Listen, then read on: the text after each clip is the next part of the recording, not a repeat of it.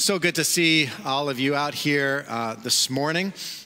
Uh, we're going to talk about suffering today. Um, and so, if you're not in a position in your life where you've been suffering, thank you, Dave, um, you will be by the time this is over, trust me. Oh. Um, you know, I can remember, I can remember the first two times I was ever asked as a child what religion I belong to. Uh, when I, my, my family, my, my mother, my sister, and I, we moved into this house uh, in a kind of densely part, uh, populated part of Nashua, New Hampshire. And uh, we're, we're in this duplex, and we shared that duplex with this other family. Uh, that family had a, a, a, son who was my age and my grade, and uh, we became best friends for as long as I was there. Uh, and he and his family, they were Muslim.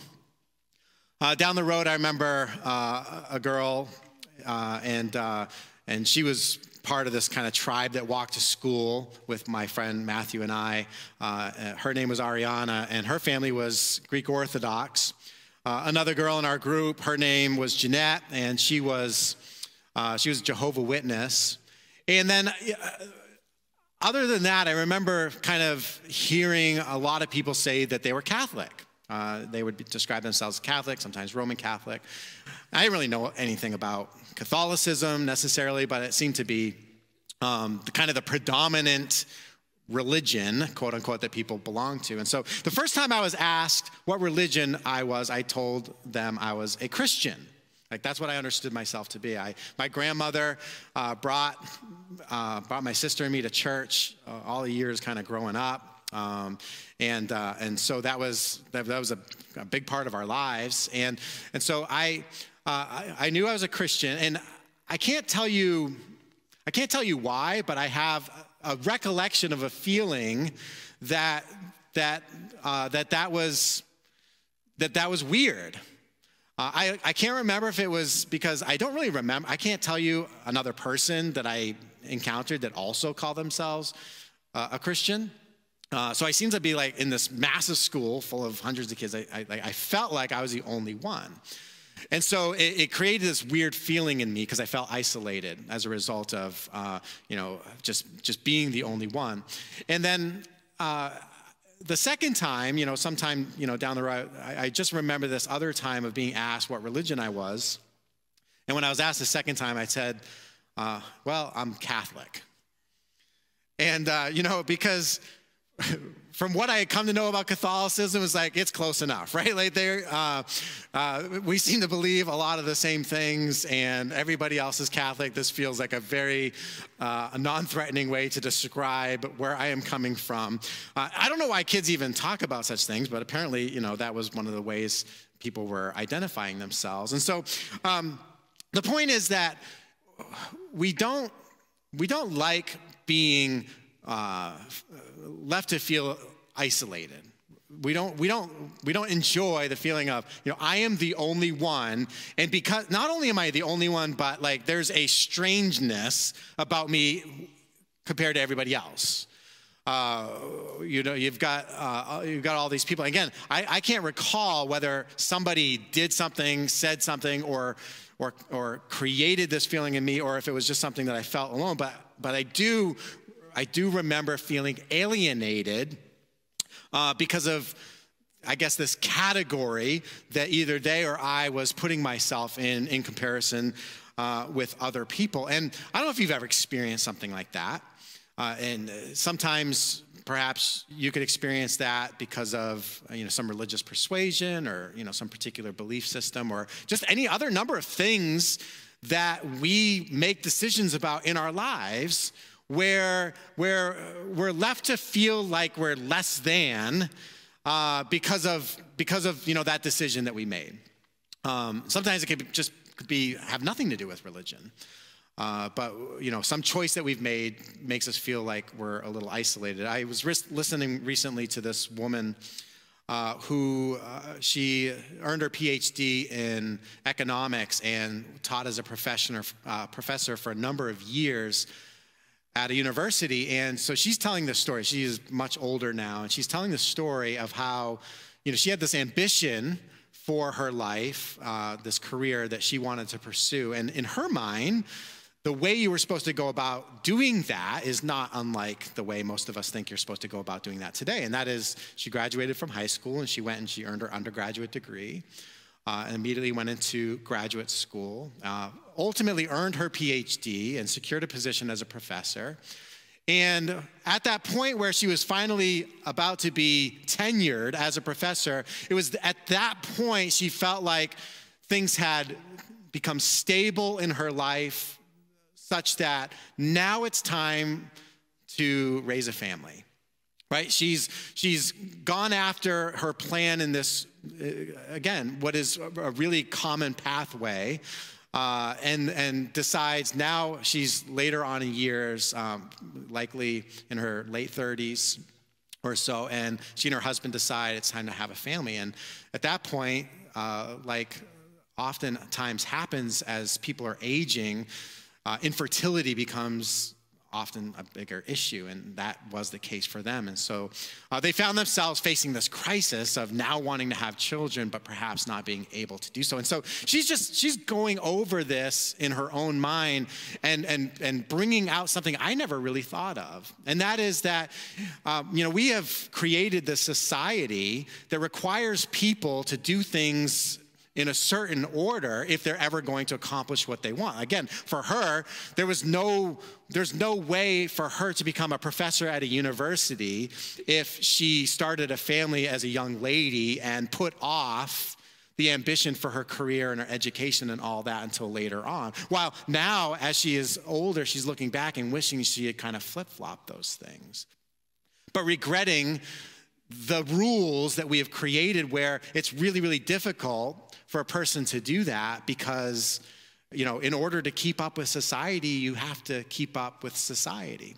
And so what uh, the point of that story is to say when a person decides to do something that maybe is not considered normative like let's say uh, you know a, a, a, husband and wife they decide uh, after they get married that they want to start a family early on like they're in their early 20s and so perhaps the decision is made that uh, they're going to raise that family, and then when the children get older, then uh, the wife will go back to school and, and, and do the same thing. Like again, just flip flopping it. And, and a lot of people, a lot of people would say, oh, you can't do that. Like that's that's not the way to do it. And so, um, from her perspective, I think she was kind of sharing how she just felt the pressure to do it a certain way.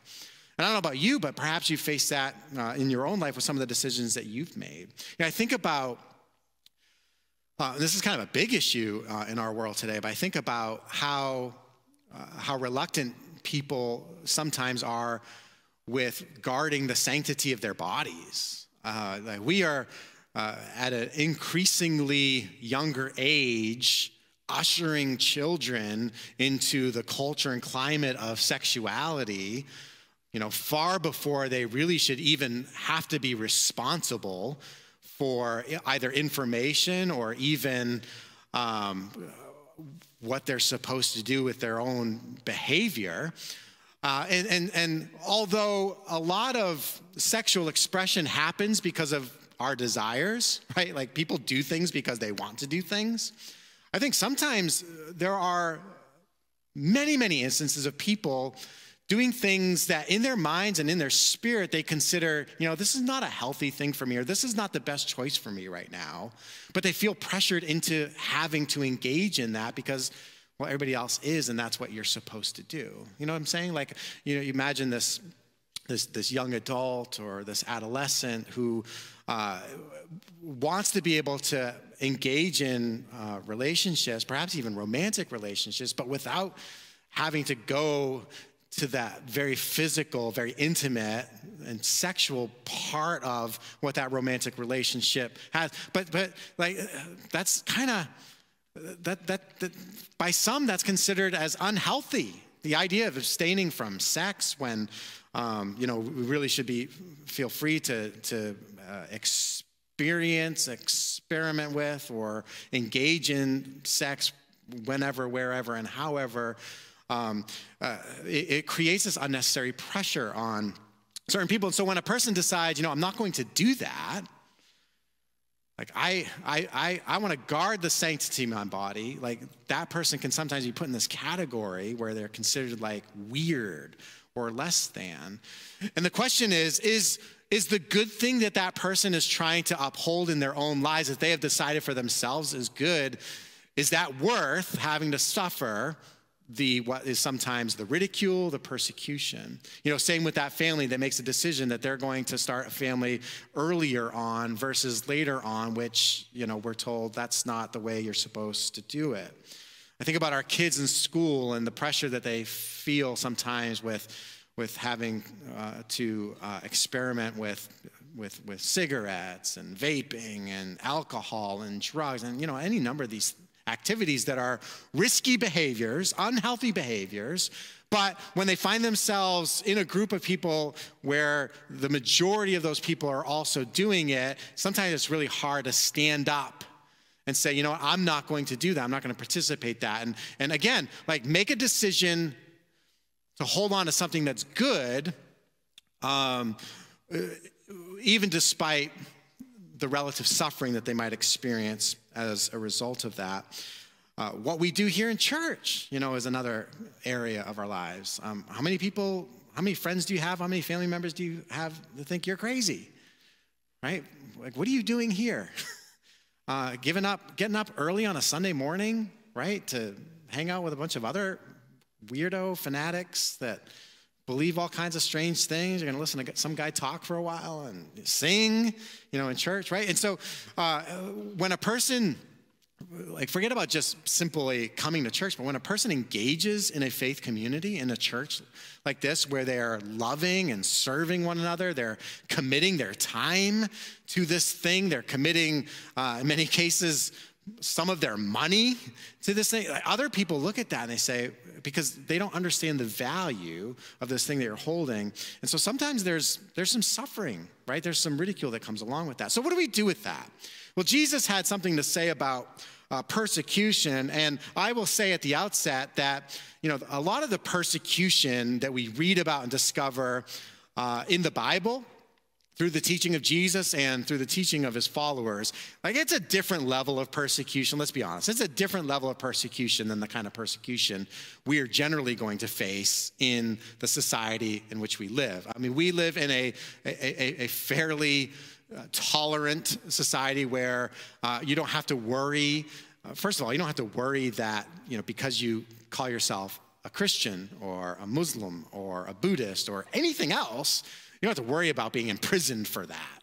Right? You don't have to worry about somebody coming and, and, and taking your house and all your possessions away. For the most part, uh, we generally, although we could, we could make decisions uh, religiously or philosophically that might upset some of our family members, most of the time, it's, it's not creating such a rift that, that those relationships are permanently uh, scarred or hurt. So the, the, the, kind of persecution we face is, you know, is often of a, a lesser type, but it is still, nonetheless, it is real, right? Because again, again, my mind goes back to as a child, my, my not wanting to, or, or, or disguising how I would really like to identify myself. I, I, I disguise that for fear of being isolated, of, of being considered like I was weird. I was this other person, that I was, uh, you know, I was so unlike everybody else that I probably wasn't worth uh, their time. So here's what Jesus has to say about persecution in these things called the Beatitudes. This is our last one. Uh, this is the, the final pronouncement of blessing that Jesus makes. And he says this in Matthew 5, verses 10 through 12. He says, Blessed are those who are persecuted for righteousness' sake for theirs is the kingdom of heaven. Blessed are those who are persecuted for righteousness' sake. Jesus recognized that for the sake of righteousness, which we'll get into that because that's kind of a weird thing, but for the actual sake of righteousness, that is because people will want to follow in my footsteps, promoting the teaching of the kingdom of God, which is to bring God's true justice and mercy into this world because people will want to work to bring real justice, real righteousness into the world. As a result of that desire and as a result of those efforts, they will suffer persecution, right? Which, again, that's kind of weird, but Jesus said, Blessed are those who are persecuted for righteousness' sake, for theirs is the kingdom of heaven. And then on this particular one, he elaborates. He says, Blessed are you. It's almost like he turns his attention now to his disciples after having pronounced all these blessings, and he says, Blessed are you. Listen, like, listen to what I have to say to you. Blessed are you when? When you find yourself in a situation where others are reviling you and persecuting you, when they are uttering all kinds of evil against you falsely on my account. Rejoice and be glad, for your reward is great in heaven. For so they persecuted the prophets who were before you. How many of you have ever, like, how many of you are big time, like, social media buffs out there? Nobody wants to admit that. Right. All right. We're, we're, you know what? Hey, we're getting somewhere here at Curtis Lake Church. Um, come on, I know you're out there. Uh, some of you spend all kinds of time on social media, and you're really you're really guarded about your presence on social media, how you're perceived, and, and what other people think about you. That's probably why you spend a lot of time on social media, right? Uh, and so, uh, how many of you have, in the course of all your social media enterprising, uh, has somebody miscategorized something you said, something you intended to say, something you meant? Right? And that just created, you know, this, this just mad rush of, of, of misrepresentation. How many of you who ever felt like you were violated by another person's estimation of you, how many of you reacted by rejoicing? right? How many of us have ever found ourselves in a place where, uh, as, as we were made to feel less than, as we were encountering suffering, again, for some good thing, how many of us have rejoiced? This is so weird, right? This, I, I don't know if you're catching on, but this is a really, really weird thing that Jesus is saying. Blessed are those who are persecuted for righteousness' sake, for theirs is the kingdom of heaven. Blessed are those. You're blessed when people talk badly about you. You're blessed when when you know that another person has kind of sneered their nose at you, when a person has dragged your name through the mud falsely. Rejoice and be glad, Jesus says. Um, let's first of all, let's talk about what Jesus is not saying here. Jesus is not saying, Blessed are those who, on account of their self righteousness, are experiencing suffering. We have to be very careful not to confuse righteousness with self righteousness. There's a very specific blessing that Jesus is uttering, and he is not he is not pronouncing a blessing on those who consider themselves to be better than everybody else on account of their righteousness. I say all the right things and I do all the right things and I am a good, moral, upstanding person. I know how to, you know, to, uh, to act the way I'm supposed to act, to do what I'm supposed to do. And um, I mean, God couldn't do anything but love me, right? Um, love the likes of me. We read about, uh, a few weeks ago, we read about a person who was like that, a person who came into the church of his day and just um, he just looked up to heaven and he's like, God, thank you so much for making me like I am. Thank you so much for make, not making me like, like that guy over there, right? Um, Jesus is not pronouncing a blessing on the person who is righteous in their own mind, self righteous. He is not pronouncing a blessing on the person who is suffering on account of their having deserved that suffering. How many of you ever suffered because you deserved it? Right? That happens sometimes. Um, if you're a follower of Jesus, you might have you might have done this kind of thing, you know, where perhaps because of your passion and zeal and love for Jesus, you've done some knuckleheaded things or said some knuckleheaded things. And as a result of that, that lack of wisdom, that lack of discretion, that lack of grace and mercy and love that we're supposed to exercise toward all people, maybe, maybe you found yourself ostracized and isolated because, you know, well, to be honest, everybody just thought you were a big pig headed jerk. And Jesus is not saying, blessed are those who, who bring on for themselves you know, a measure of vitriol that comes from the world because, because, you're, because you're being arrogant or because you're being mean or mean spirited. He said, Blessed are those who are persecuted for righteousness' sake.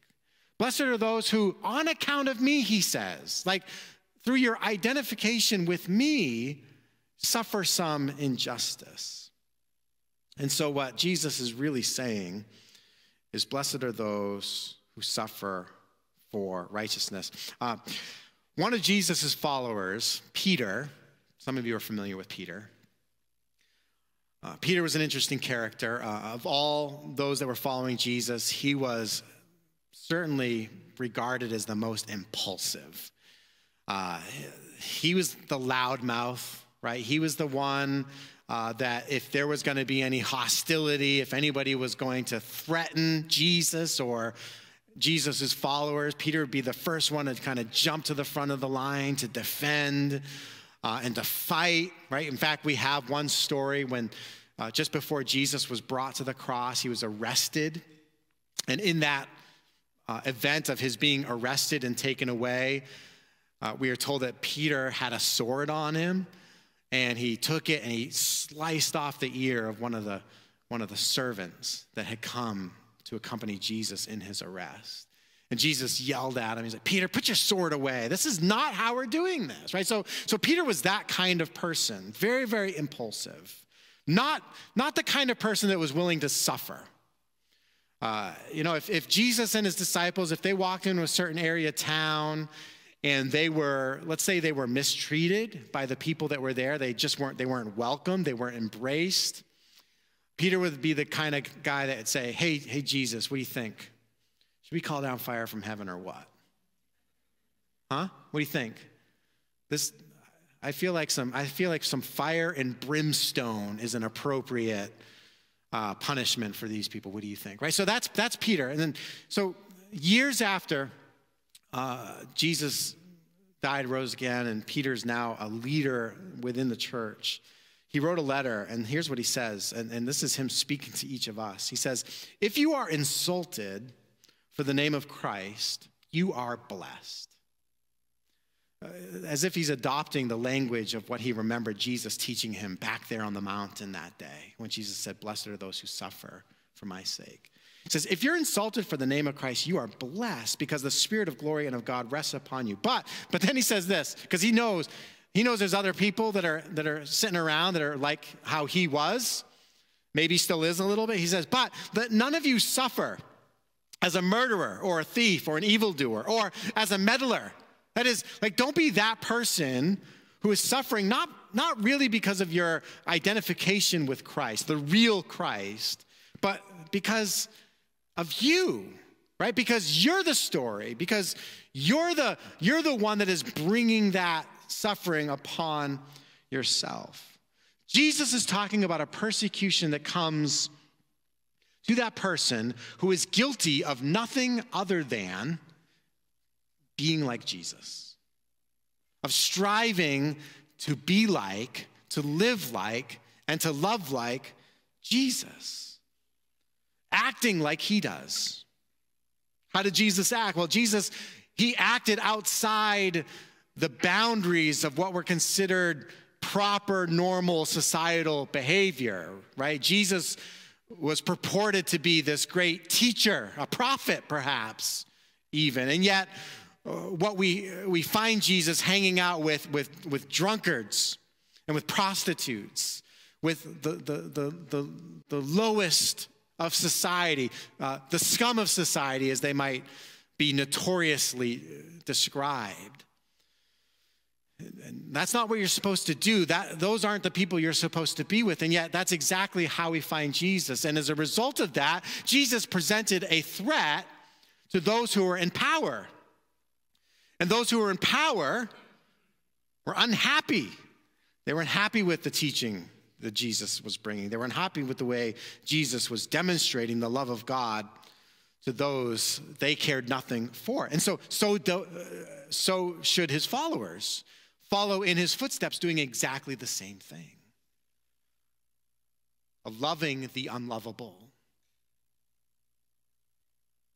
of showing love not just to friends and to relatives, but showing love even to enemies. There's a there's a this category of behavior that that puts you when you're when you're acting like and living like and loving like Jesus, it puts you at at opposition with the world we live in. The life of the Christian, the life of the follower of Jesus will, uh, on occasion, it will create disturbances. There's a disturbance in the force, Luke, you know? You follow and walk like and act like and love like Jesus, that will on occasion create a disturbance in this world. Because that behavior and that kind of real love, it stands in opposition to a kingdom, right? And the powers of this world that are hostile toward the godly kingdom that Jesus wants to bring in. Jesus said over and over again, My kingdom is not of this world. It does not operate by the rules and the associations that this world operates and is ruled by. You know, my kingdom doesn't line up neatly and all tidy with your perception of what is the perfect government. Oh, if only the Democrats could have full control. Oh, if only the Republicans could have full control. If only our nation could become like what it was, you know, as if there was ever a time in our nation where we were truly just and righteous. The kingdom of Christ does not come by way of power. It is not through the assertion of power, either military power or the kind of power that through force compels people to follow. it, it, is, it is it is otherly defined and it is otherly ushered in. And it stands in contrast with the world. It's, it's in opposition to the world's way of being and of doing. And so, as you more follow in the footsteps of Jesus, the real Jesus, the Messiah, the, the, the, the, uh, the, anointed one, the one who was sent to come and to save and redeem the world, as you come in, as you love like he did, and live like he did it, you're going to find yourself standing in opposition to the power structures of our world. A student is going to find themselves in a hostile environment with their school and the power structures that rule that school. You, in your workplace, may find yourself uh, in a hostile environment with and among those you work because of what you believe and what you hold on to and what you cherish. Uh, within, let's say, the people that you call your friends, perhaps even your family, you may from time to time find yourself at odds with even people that are really, really close to you. You know, Jesus said something really interesting. I wasn't, I wasn't planning on saying this, and um, I may get this all jumbled up. But Jesus said something really interesting. Uh, Jesus said, and, and, I probably really shouldn't go into this, right? Because I can't, I, I, can't really bring it all together. But I feel like I, I should say, Jesus said, I didn't come to bring peace, but a sword, right? And Jesus said that as a result of my kingdom being brought into this world, there are going to be natural relationships that are going to find themselves in conflict. Like you're going to have father against child, and brother against brother, and sister against sister. Like we're going to, the, the, there, there's, with the coming on of Christ's kingdom, they're going to be those who don't want it. They want to live under the, the dictates and the determinations of the world system. And where, where those two things are in opposition with one another, um, there is going to be suffering. This is what we really probably ought to expect, after all. Uh, this isn't for today, uh, but shortly after this, the very next things that Jesus starts to talk about is he says, You are the salt of the earth. And he says, You are the light of the world. And he uses the illustration of light coming and penetrating into the darkness of this world. Well, what happens when light comes into darkness, right? There's this, there's two things that are opposed to one another.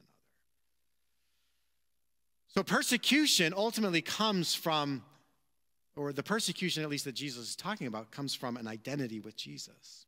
And it comes in many forms, right? Um, you might have experienced persecution in any number of ways. Jesus says, Blessed are you when people revile you. That is, when you find people insulting you, denouncing you, verbally abusing you. Have you ever, have you ever been verbally abused for something that you upheld as good and as right? Uh, you ever found yourself, because of your association with Jesus, your desire to be in relationship with Jesus, that you were assaulted verbally? He said, Blessed are you when people persecute you. Uh, so, persecution literally means to pursue or to chase after. The idea is that when I am being persecuted, I am, I, I, I am, I am being chased after, I am being pursued, right, with a, uh, the intent of violence. He says, Blessed are you when people speak of you falsely. Again, this idea of perhaps um, people misrepresenting your actions, your words, your thoughts, things like that. So persecution comes in many forms. but while Jesus can, while he can be the reason for our suffering, the cause for our suffering, right? Like uh, as a child, I thought if I say I'm a Christian, people are going to think I'm weird. So that would be one way to experience suffering if it happened. I don't even, I don't even know that it really ever did. But if, uh, as a result of my association with Jesus, um, that caused suffering, it can also be the purpose for suffering. And this is a little hard for us to relate to, again, because we, we, we suffer very little. But there are people in this world today, right now, who are undergoing tremendous persecution, like real persecution. People who are simply because they identify themselves as a follower of Jesus, as a Christian, they're being um, tortured, imprisoned, sometimes executed. Right, so that's, that's real persecution. Jesus says, Blessed are you when you're persecuted for my sake. But at the same time that he can be the cause, the reason for why that person's suffering, that, suff- that person's not suffering because they've done anything wrong. It's not because they've mistreated anybody or, or, or, or violated a righteous law. Um, they might have violated a law, a law that says you're not allowed to be a Christian. You're not allowed to profess faith in Christ. They might have broken that law, but they haven't broken a righteous law. So they are suffering on account of Christ, but that can also be the purpose for their suffering.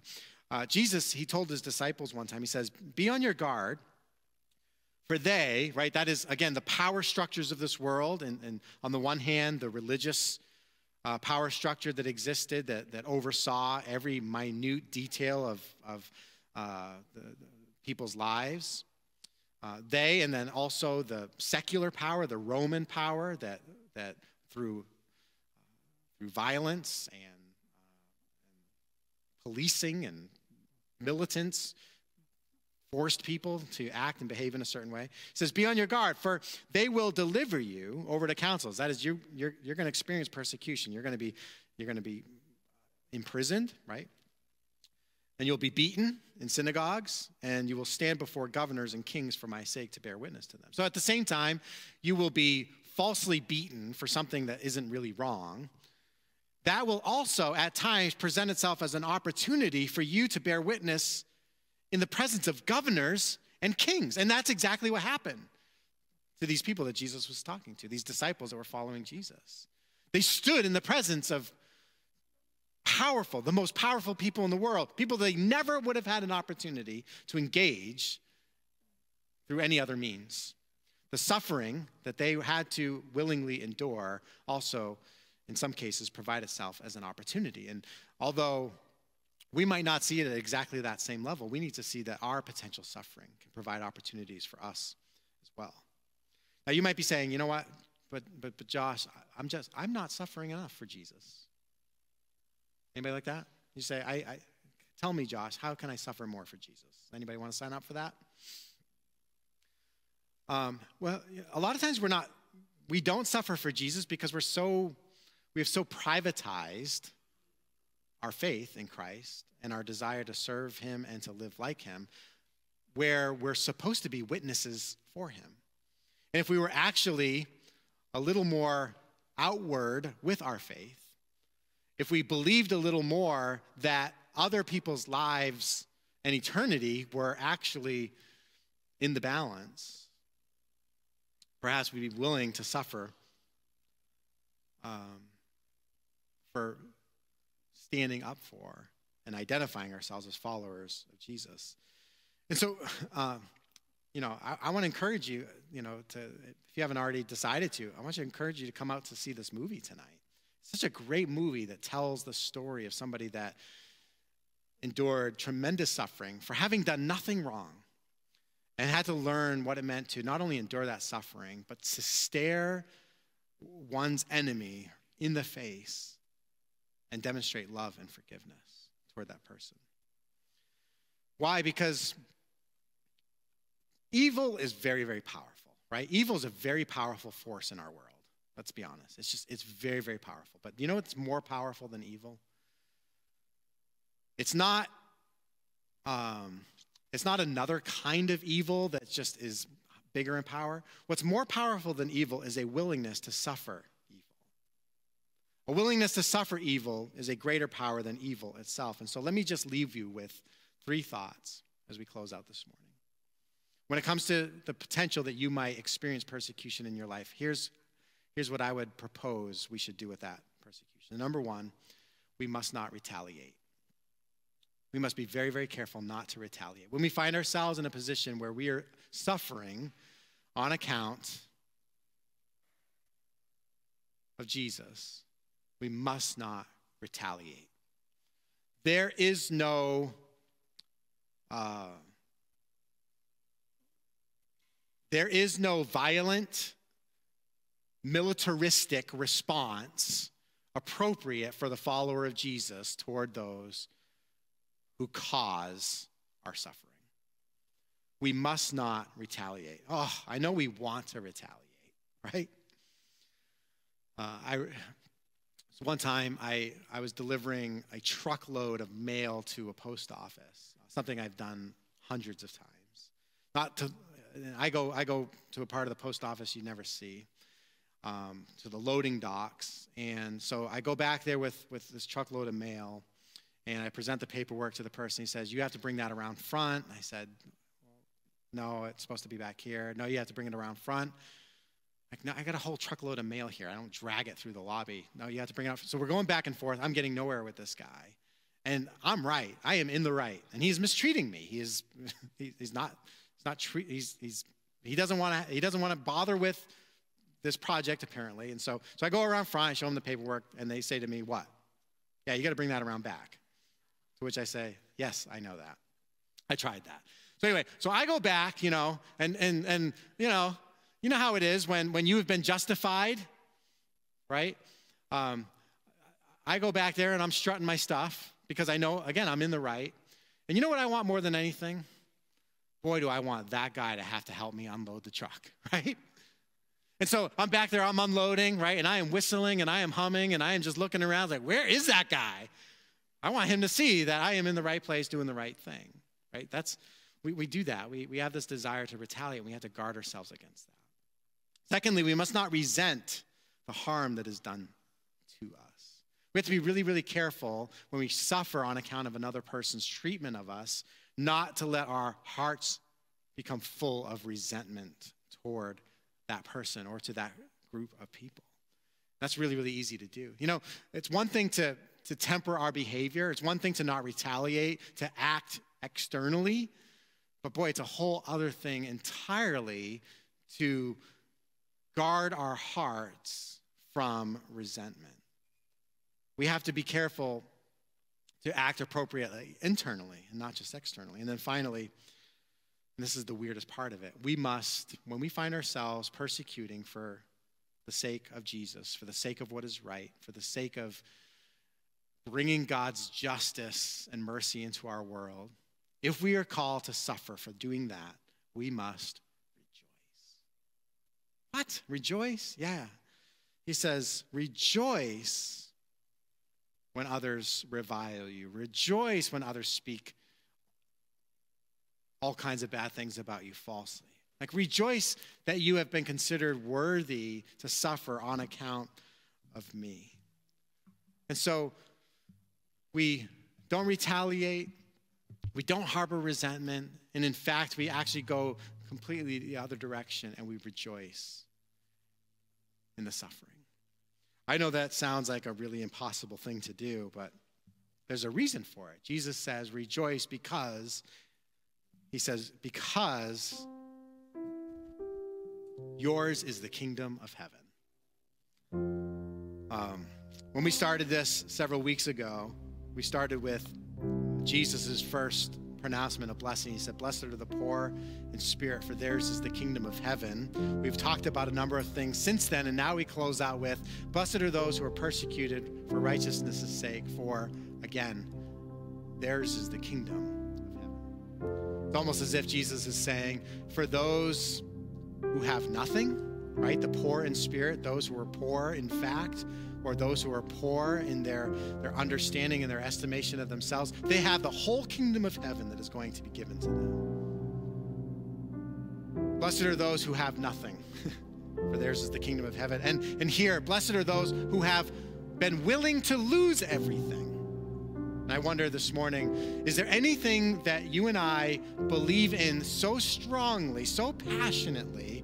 Is there, is there something for which we are so convicted in our hearts is right and true and good? Is there anything that you'd say, it does not matter what anybody should say about me? It does not matter what anybody should do to me. I'm going to hold firm to this. The very first and foremost thing that that ought to be is love for and your relationship with Jesus Christ. Don't let anything get in the way of that. Don't let any power system get in the way of what it means to pursue and to grow that relationship with Jesus. Even if somebody thinks you're weird and fanatical, maybe even out of your mind, it's okay. There's a handful of other people that are right there with you. Blessed are those who are persecuted for righteousness' Let's be about bringing the true, real righteousness of God into our world, into our homes, into our schools, into our workplaces, into wherever God gives us the opportunity to bring that righteousness, to bring that justice, to show His mercy, to show His love. For theirs is the kingdom of heaven. Amen. Let's pray. Father, I thank you for this. Um, this last pronouncement of blessing uh, that we will take up in this section.